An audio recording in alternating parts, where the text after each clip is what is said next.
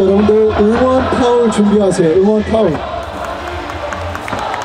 우리가 하는 거는 여러분들 한숨을 쉬는 게 아니라